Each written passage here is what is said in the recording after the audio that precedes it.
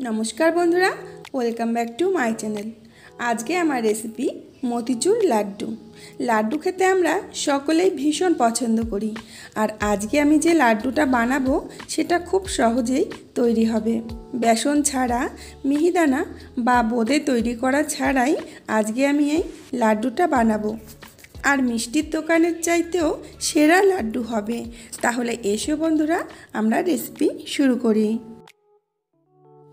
সবার প্রথমে লাগবে ছোলার ডাল। আমি এখানে আড়াইশো গ্রাম ছোলার ডাল আগের দিন রাত্রে ভিজিয়ে রেখেছি। এখন এই ডাল থেকে আমরা জলটা ঝরিয়ে নেব। একটা ছাকনির উপরে আমরা ডালগুলো দিয়ে দেব যাতে এর ভেতর যে এক্সট্রা জলগুলো আছে সেগুলো বেরিয়ে যায়। তো দেখো বন্ধুরা, জলটা বেরিয়ে গেছে। এখন আমি একটা মিক্সিং জার নিয়েছি। এর মধ্যে আমি ডালগুলো দিয়ে দেব আর ডালটা ভালো করে পেস্ট করে নেব। দেখো বন্ধুরা, আমরা ডাল পেস্ট করে নিয়েছি। তোমরা দেখলেই বুঝতে পারছ যে একটু দানা দানা মতো রয়েছে, এরকমই রাখতে হবে।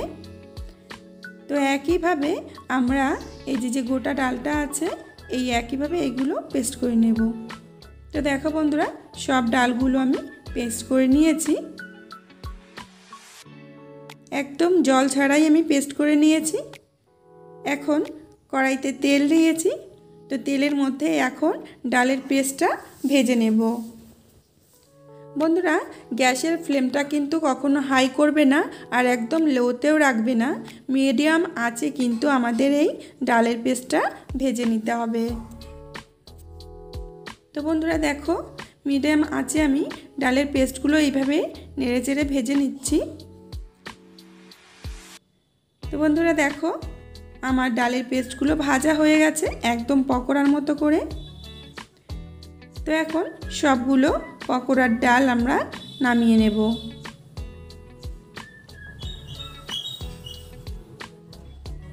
একটা পেপারের উপরে রেখে দিচ্ছি যাতে এক্সট্রা তেলগুলো পেপারে টেনে নেয়। তো এখন যে গুঁড়োগুলো রয়েছে, এগুলো আমরা একটা ছাকনি দিয়ে ছেঁকে নেব। নতুবা এর পরে যখন আমরা দেব, তখন ওগুলো পুড়ে কালো হয়ে যাবে। তো একইভাবে আমরা সমস্ত ডালের পকোড়াগুলো ভেজে নেব। দেখো বন্ধুরা, সব ডালের পকোড়া ভাজা হয়ে গেছে। এখন আমরা এগুলো টুকরো টুকরো করে নেব। হাত দিয়ে এগুলোকে ভেঙে একটু টুকরো করে নেব। তো বন্ধুরা, তোমরা কালারটা দেখলেই বুঝতে পারছ। কালারটা ঠিক এরকমই থাকতে হবে, এর থেকে বেশি পুড়িয়ে ফেললে কিন্তু হবে না। এখন আমি আবার একটা মিক্সিং জার নিয়েছি। তো এই জারের মধ্যে এবার ডালের পকোড়াগুলো দিয়ে দিলাম।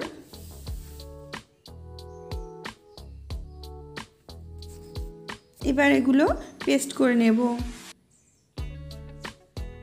দেখো বন্ধুরা একদম মিহিদানার মতো আমরা গুঁড়ো করে নিয়েছি। এগুলো কিন্তু একদম ফিনিশিং করিনি, একটু দানা দানা রয়েছে।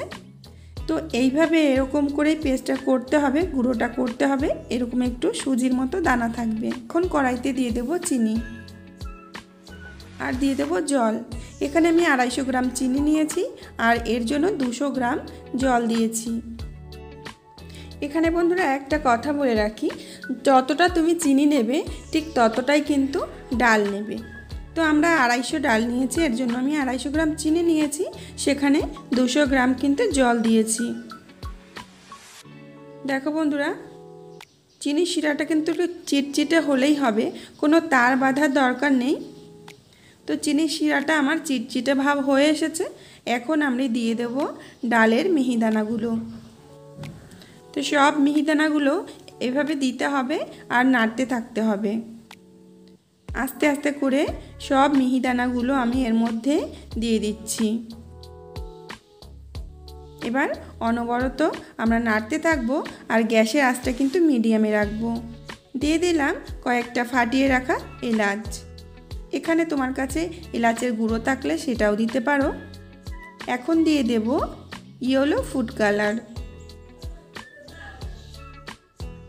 এবার ইয়েলো ফুড কালারটা দিয়ে মিশিয়ে নেব ভালো করে, যাতে লাড্ডুর কালারটা আরও বেশি সুন্দর হয়। তো ইয়েলো ফুড কালারটা দিয়ে নেড়ে চেড়ে দিয়ে নিয়েছি।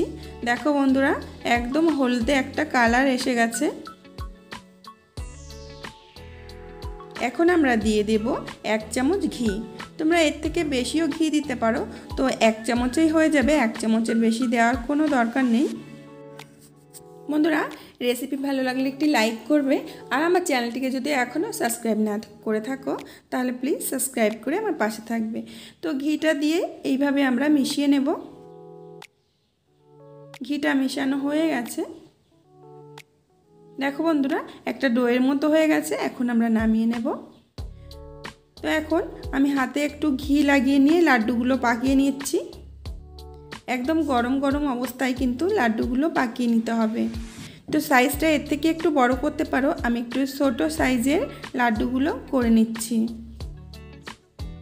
তো দেখো বন্ধুরা, কত সুন্দর পারফেক্ট লাড্ডু আমরা পাকিয়ে নিয়েছি। তোমরা চাইলে লাড্ডুটা ছোট বড় যে কোনো আকারের করে নিতে পারো। তো বন্ধুরা, তোমরা দেখতেই পাচ্ছ যে লাড্ডুগুলো দেখতে কতটা সুন্দর হয়েছে। আর তোমরা যখন এটা বাড়িতে বানাবে, তখনই বুঝতে পারবে যে লাড্ডুটা মিষ্টির দোকানের থেকেও সেরা লাড্ডু আমরা তৈরি করেছি। দেখো বন্ধুরা, ভেতরটা কতটা দানাদার হয়েছে। কেউ বুঝতেই পারবে না যে আমরা মিহিদানা বা বোঁদের ছাড়াই এই লাড্ডু তৈরি করেছি। যদি তুমি এই লাড্ডুটা কাউকে খেতে দাও, সে কিন্তু বুঝতেই পারবে না যে তুমি এটা নিজের হাতে তৈরি করেছ। তো বন্ধুরা, আজকে এই পর্যন্ত এখানেই বিদায় নেব। আবার আসব নতুন একটা রেসিপির সাথে। ততক্ষণের জন্য সবাই সুস্থ থেকো, ভালো থেকো।